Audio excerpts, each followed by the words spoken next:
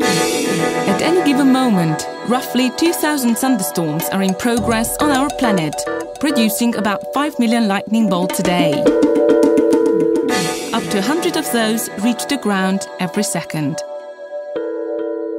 Large weather surveillance networks collect general data, but they cannot accurately locate cloud to ground strikes and are too expensive for private use. Without real time mapping of the spatial development of lightning from place of origin to strike, global systems are less precise in forecasting wind phenomena related to thunderstorms, for instance, tornadoes.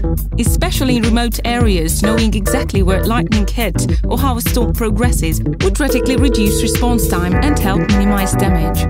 Quickly developing weather comes with preventable accidents and convective events associated with lightning, such as sudden wind shear, which also pose a constant threat to aviation worldwide. The LoLight project aims to provide low cost and accurate sensor technology for private meteorological stations, weather related enterprises to localize lightning strikes, track and monitor supercells.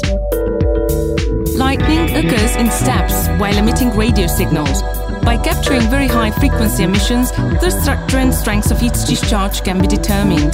Using stationary sensors combined with GPS communication modules, we can triangulate lightning flashes from a distance of 200 kilometers within a 100 meters of accuracy.